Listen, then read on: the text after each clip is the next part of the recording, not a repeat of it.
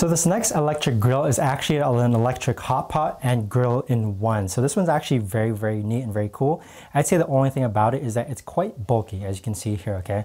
But with the handles, makes it very, very easy to carry and grab around. So let's start off with the actual outer part. The handles make it very easy to move this around, and then actual, the actual plate, you can move it around as well.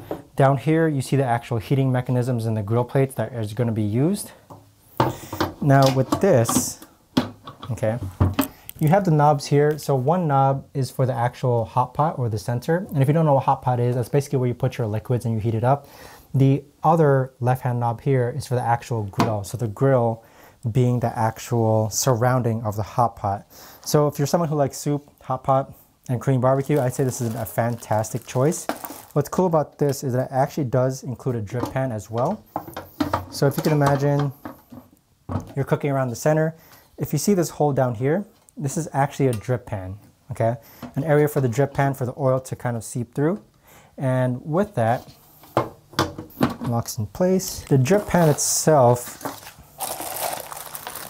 is quite little, okay? It's not a very, very large drip pan, so I guess that's another drawback of this.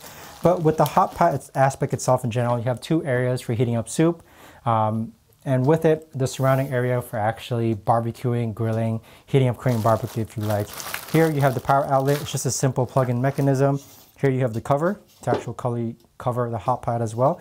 But overall, I'd say this is an excellent choice for a two-in-one grill for an electric hot pot and grill.